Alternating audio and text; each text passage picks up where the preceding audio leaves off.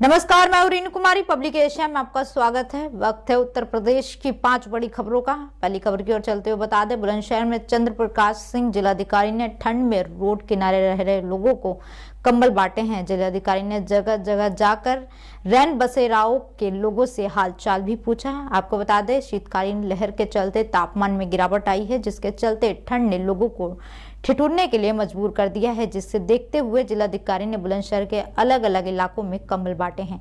साथ ही शहर में जगह जगह जिला प्रशासन के आदेश पर नगर पालिका व तहसील के द्वारा अलाव की व्यवस्था की जा रही है। आइए दिखाते हैं इस पर हमारे संवाददाता प्रदीप पंडित की रिपोर्ट।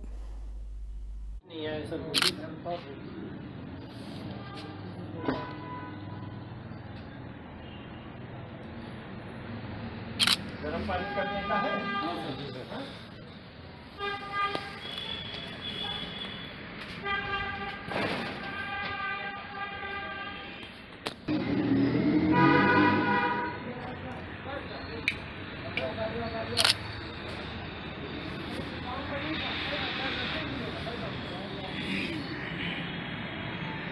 ऐसा कुछ गर्म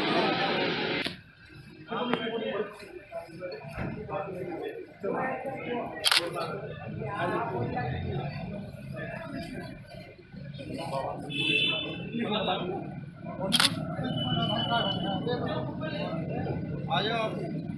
है इधर एक मिनट पापा इधर इधर इधर हो जाओ।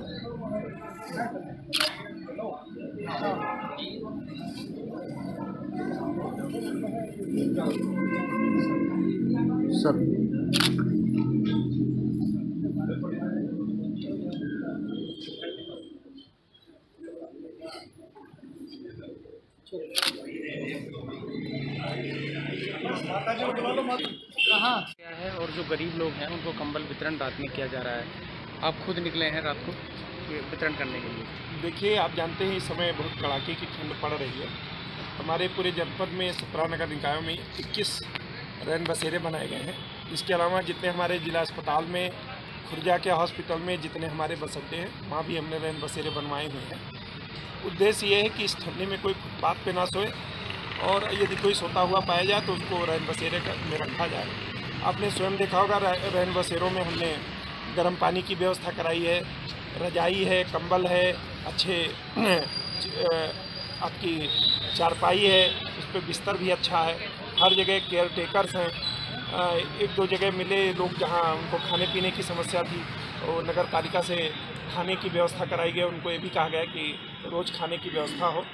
और माननीय मुख्यमंत्री जी ने और उत्तर प्रदेश सरकार ने ऐसी व्यवस्था की हुई है, इतना धनराशि दी हुई है जितने भी कोई पात्र गरीब हैं, उनको कंबल दिया जाए। पूरे जनपद में लगभग आठ हज़ार से अधिक कंबल जो राज्य सरकार के द्वारा प्राप्त हुए हैं, उनको बांटा गया है। इसके अलावा स्वयंसेवी संस्थाओं ने भी कंबल दिए हैं, वो भी बांटा जा रहा है।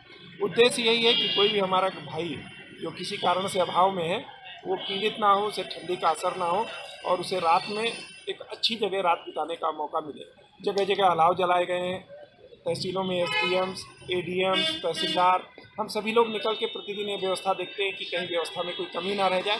जहाँ कोई कहीं छोटी मोटी कमी पाई जाती है, उसी दिन उसे तत्काल सुधारा जाता है। दूसरी खबर की ओर चलते हुए बता दें, खुर्जा के गाँव गोविला में आयोजित प्रधानमंत्री नरेंद्र मोदी द्वारा चलाए जा रहे विकसित भारत संकल्प यात्रा का आयोजन किया गया है। इस मुहिम का मुख्य उद्देश्य घर घर जाकर सरकार द्वारा चलाई जा रही सभी योजनाओं के बारे में लोगों को जानकारी देने का मुख्य उद्देश्य है। कार्यक्रम में मुख्य अतिथि सांसद डॉक्टर महेश शर्मा और आरपी सिंह, केंद्रीय विमान प्रबंधन और पूर्व विधायक विजेंद्र सिंह रहे। कार्यक्रम को संबोधित करते हुए डॉक्टर महेश शर्मा ने मोदी सरकार की योजनाओं का वर्णन किया है। आइए दिखाते इस पर हमारे संवाददाता प्रदीप पंडित की रिपोर्ट। खुश हो? खुश हो? पक्की बात है, मेरी माताओं बहनों के हाथ कम उठ रहे हैं। कुछ मोदी जी के, योगी जी के काम से खुश हो? तो तीसरी बार मोदी जी को प्रधानमंत्री बनाओगे? हाथ उठा के बता दो। मोदी जी को फिर से प्रधानमंत्री बनाने जा रहे हो? बहुत बढ़िया। और देखो 22 तारीख को राम लला 500 साल की लड़ाई के बाद आपके घर में आ रहे हैं। अपने घर में पधार रहे हैं। उनका स्वागत मोदी जी का भाषण सुना है ना? उन्होंने कहा, बाईस को अयोध्या मत आना। अपने पास के मंदिर में जाके राम भजन करना, राम धुन करना, शाम को पाँच दीपक जलाना। ऐसा लगे कि सच्ची दिवाली अब कई मनी हर घर के मंदिर में जाकर ये दिवाली मनाना। जय जय श्री राम। अब हम शपथ लेंगे। इस शपथ के बाद ही सभी लोग अपने विकसित भारत संकल्प यात्रा। ये हमारे देश के यशस्वी प्रधानमंत्री मोदी जी की गारंटी का रथ है, जो आज गाँव गोविला में आया हुआ है और इसका जो महत्व है, वो लोगों को ये है बताना कि गाँव में प्रत्येक व्यक्ति जो पात्रता में आता है, उसको योजनाओं का लाभ मिले। नहीं 2024 तो जनता जनार्दन है और सब जानती है। कुछ बताने की ज़रूरत नहीं है। हमारे देश के यशस्वी प्रधानमंत्री मोदी जी और उत्तर प्रदेश के तपस्वी मुख्यमंत्री योगी आदित्यनाथ जी के नेतृत्व में डबल इंजन की सरकार लगातार आगे बढ़ रही है। विकास का पहिया लगातार आगे बढ़ रहा है और ये हो सकता है कि विपक्ष डगमगा रहा हो, चरमरा रहा हो और गठबंधन का भी प्रयास कर रहा हो, लेकिन मुझे लगता है ये गठबंधन पहले की तरह फिर इस बार ठगबंधन बन के रह जाएगा।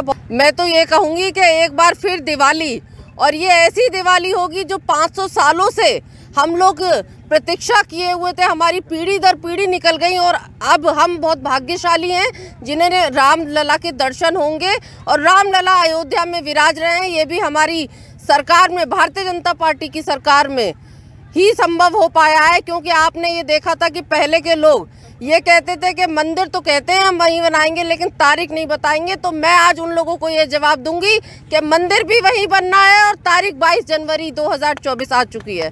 बहुत बहुत धन्यवाद तक नहीं पहुँच पाई, उनका संपादन यही इसी गाँव में बैठ के हो, सर, आपको ऐसा लगेगा, शायद ये तीसरी खबर की ओर चलते हुए बता दें, आईएएस अधिकारियों की तरह पीसीएस अधिकारियों के लिए भी उत्तर प्रदेश में नियम बदल गए हैं। पीसीएस अधिकारियों को भी हर वर्ष चल अचल संपत्ति का ब्यौरा देना होगा। यह ब्यौरा 31 जनवरी तक वार्षिक संपत्ति विवरण स्पेरो पोर्टल पर ऑनलाइन देना होगा। अभी तक पीसीएस अधिकारियों को पाँच वर्ष में एक बार अपनी चल अचल संपत्ति की जानकारी सरकार को देनी पड़ती थी। और चौथी खबर की ओर चलते हुए बता दें, अपराध और अपराधियों पर प्रभावी प्रहार के लिए मशहूर शहर के नए पुलिस आयुक्त अखिलेश कुमार की प्राथमिकता। गरीब और असहाय लोगों को न्याय दिलाना है। उनका कहना है कि पुलिसिंग को बेहतर बनाने के लिए थानों पर फरियादी महिलाओं के प्रति पुलिस के व्यवहार को सुधारने में प्रमुखता से काम किया जाएगा। और आखिरी खबर की ओर चलते हुए बता दें, गैंगस्टर विनोद उपाध्याय को उत्तर प्रदेश पुलिस ने ढेर कर दिया है। बीती रात एसटीएफ की बदमाश से मुठभेड़ हो गई। इसमें माफिया और शार्प शूटर विनोद कुमार उपाध्याय की गोली लगने से घायल हो गए। बाद में उनकी मौत हो गई। बता दें, गैंगस्टर विनोद कुमार उपाध्याय पर गोरखपुर पुलिस में एक लाख का इनाम घोषित किया गया था। विनोद अपना एक और संगठन गिरोह बनाकर जनपद गोरखपुर बस्ती संत कबीर नगर लखनऊ में कई सनसनीखेज हत्या की घटनाओं को अंजाम दे चुका है। ऐसी उत्तर प्रदेश की तमाम जानकारी के लिए देखते रहे पब्लिकेशन न्यूज़ नमस्कार।